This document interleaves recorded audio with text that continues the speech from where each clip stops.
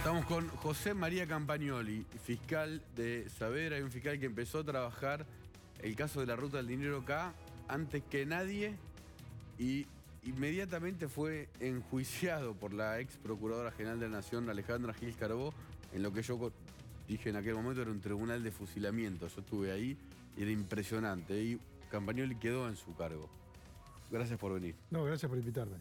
Ah, primero, una cosa, veníamos contando como varios episodios de la Argentina, digamos, trucha, entre comillas, ¿no?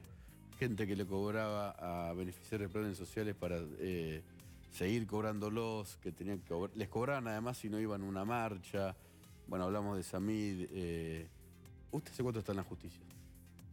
Y yo, bueno, empecé de muy chiquito. Empecé de meritorio a los 17 años.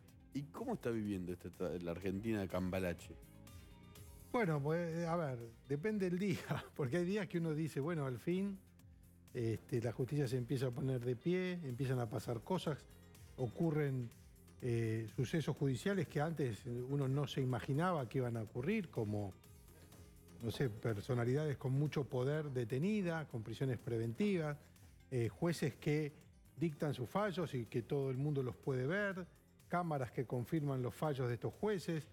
Bueno, todo un juego judicial procesal que es muy rico y que la ciudadanía lo puede ver, lo cual es muy bueno. ¿sí?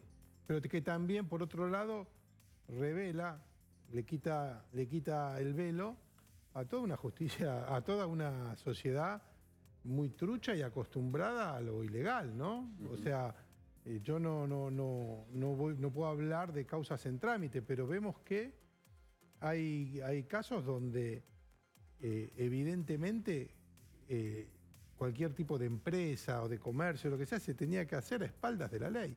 Y parecería que los argentinos nos acostumbramos muy rápidamente a no respetar la ley.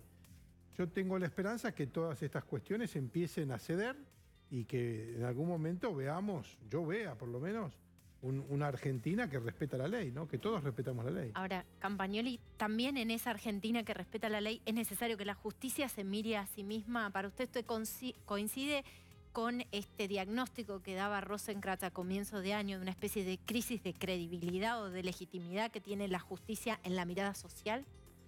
A ver, es evidente que la, la justicia que tenemos hoy no conforma a nadie. Yo soy muy crítico de la justicia pero también es cierto que hay una justicia que todo el mundo ve y que confunde con el resto de los cientos de magistrados y, fiscales y juezas y, empleados y funcionarios que silenciosamente hacen un trabajo muy digno, muy eficaz en un montón de rubros que a la gente por ahí no mira. O sea, la gente no está viendo lo que se llama, por ejemplo, la justicia ordinaria, que diariamente se procesan eh, cantidad de casos con, en 24 horas con la nueva ley de flagrancia, una ley que tiene un poco, casi un año y medio. Cuando eh, agarran a alguien eh, infraganti. infraganti, todo eso que se hablaba de la puerta giratoria no existe más. ¿Por qué? Porque a la persona que la policía detiene inmediatamente es llevada ante un juez, el juez con el fiscal y la defensa rápidamente se hace un juicio. Eso tiene un alto índice de eficacia en la, en la justicia de Capital Federal, por ejemplo.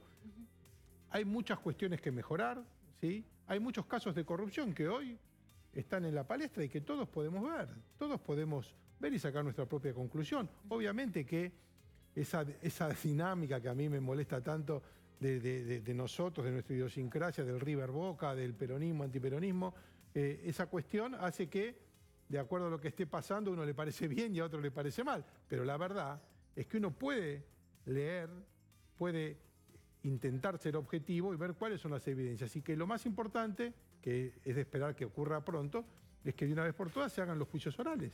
Los juicios orales públicos, en audiencia pública, donde todos nos vamos a poder enterar de boca de los protagonistas qué es lo que pasó. Eso es lo que tiene que ocurrir y es lo que yo creo que está ocurriendo. Falta mucho por hacer, soy crítico de muchas cosas de la justicia, pero entiendo que empiezan a suceder cuestiones que son alentadoras.